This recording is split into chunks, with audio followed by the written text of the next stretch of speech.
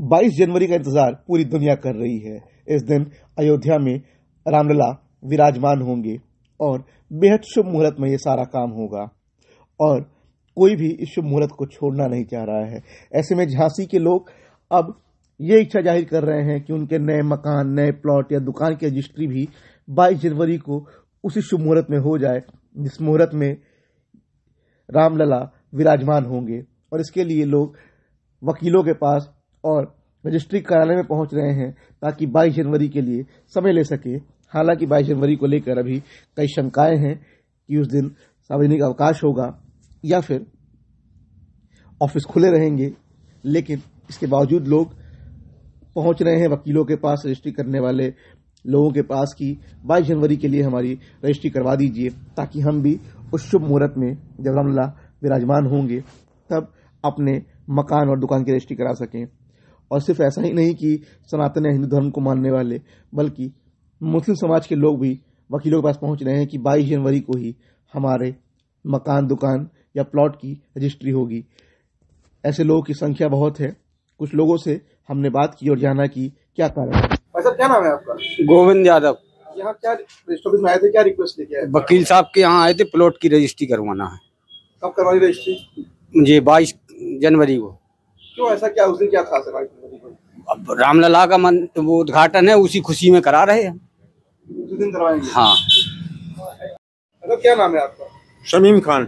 हाँ साहब register office में क्या रिक्वेस्ट लेके आए थे वकील साहब के पास वकील साहब के पास हमें उसी दिन रजिस्ट्री कराना है जिस दिन रामलला के मंदिर की प्रारंभ होना है उसी दिन कराना है। मतलब बाईस जनवरी को करानी है? बाईस जनवरी को। ऐसा क्या खास है भाई साहब अब इतने लोग शामिल हो रहे हैं उसमें घर घर से तो हम भी उसी में शामिल होना चाह रहे हैं। एक यही सही कि उसी दिन हमारी रजिस्ट्री हुई।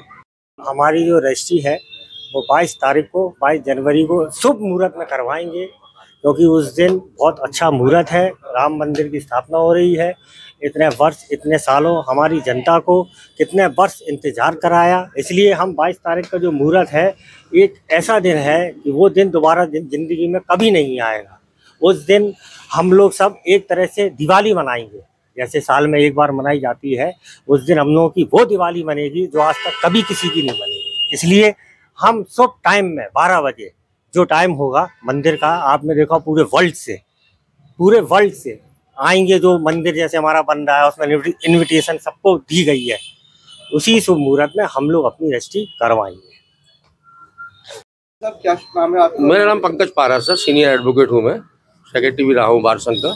साहब क्या ऐसे लोग आ रहे हैं क्या? जो रिक्वेस्ट कर रहे हैं कि बाईस जनवरी को ही हमें रजिस्ट्री करवानी है अपने मकान की, दुकान की। हाँ अभी अभी ये कुछ एक दो दिन से मैं देख रहा हूँ। अभी तो ठंडक थी काफ़ी, कल से धूप निकली हुई है झांसी में। तो एक दो दिन से मैं देख रहा हूँ कि काफ़ी ज़्यादा लोग जो है उत्साहित है। मन राम राजा सरकार के जो वहाँ उनकी वो होने जा रही है, मंदिर में मूर्ति स्थापित होने जा रही है, जिसका सभी हर्षोल्लास से और हर तरीके से जो है लोग चाह रहे हैं कि भाई हम अपना पार्टिसिपेट करें, उसमें भाग लें।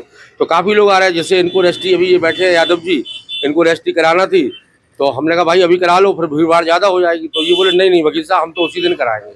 और हमने बोल भी दिया, आज से हमारी तैयारी करा दो आप और रजिस्ट्री हमारी उसी दिन कराना आप। अब ऐसे तीन चार क्लाइंट बैठे हुए हैं। ये बैठे हुए हैं, सैन साहब, इनकी वहाँ की होनी है, सदर बाज़ार की। तो ये भी अपना कह रहे हैं कि भाई हम अपना बाईस तारीख को कराएँगे। तो हम लोग ऐसे बहुत सारे क्लाइंट आ रहे हैं काफ़ी प्रफुल्लित होके आ रहा है उत्साहित होके आ रहा है।